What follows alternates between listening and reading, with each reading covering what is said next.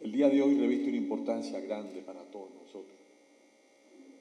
290 años son exactamente un poco más del 50% de la historia medio milenaria de la ciudad de La Habana.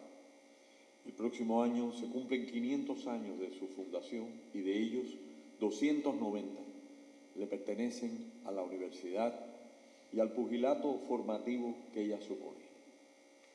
Como institución permanente de la cultura, la universidad, y así lo define el término, es el universo de los conocimientos.